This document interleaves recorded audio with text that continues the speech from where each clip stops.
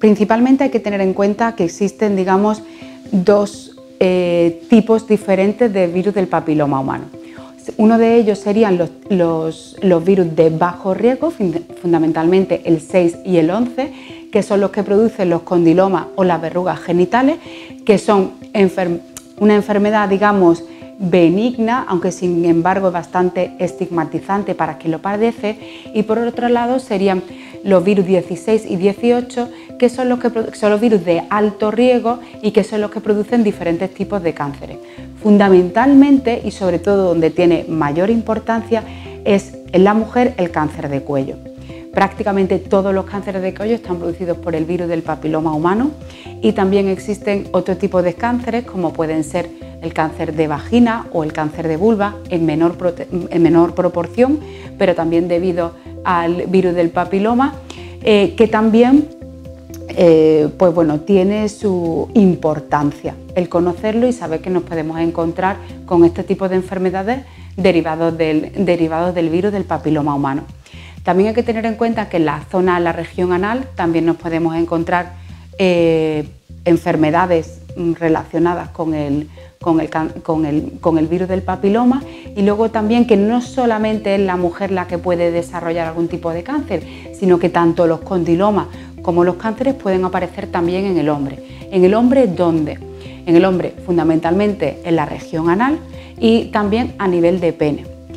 Fuera de lo que es la región genital, también nos podríamos encontrar con cánceres eh, secundarios a la infección por el virus del papiloma, como es en la zona de la orofaringe, así como en diferentes, diferentes cánceres de piel también están asociados al virus del papiloma, eh, así como también incluso en la, en la esclera, en el ojo. Hay que tener en cuenta una cosa muy importante y es que la infección por un virus del papiloma no significa que vayamos a tener un cáncer. Afortunadamente, estos tipos, este, el virus del papiloma, las infecciones por este virus, la mayoría de las veces desaparece. Y es en un pequeño porcentaje de personas en las cuales este virus persiste, sobre todo más de dos años, es cuando van a empezar, digamos, los problemas. Este problema no va a ser directamente infección, tener un cáncer, sino que aparecen primero lesiones precancerosas y son estas lesiones precancerosas las que nosotros eh, vamos a ser capaces de eh, detectar antes de que vaya a más como, eh, con pruebas como por ejemplo screening o cribado como por ejemplo la citología. La citología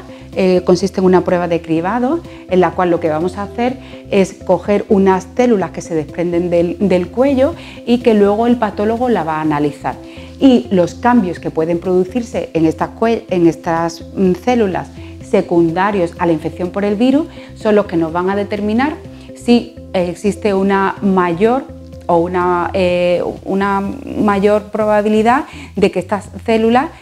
a la larga puedan dar lugar a un cáncer. Existen dos formas de poder evitar las infecciones eh, por, las infecciones por el virus del papiloma humano.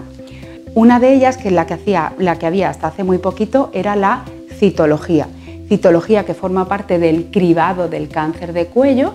y eh, como ya digo, esto es algo que, bueno, que se, se, sigue haciendo, pero sin embargo ahora mismo para el cribado eh, se utiliza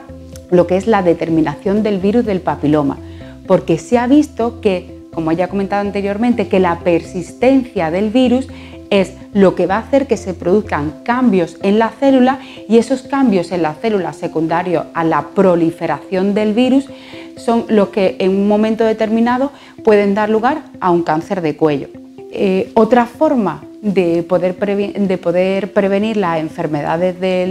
las enfermedades o la infección por el virus del papiloma humano es a través de la vacunación.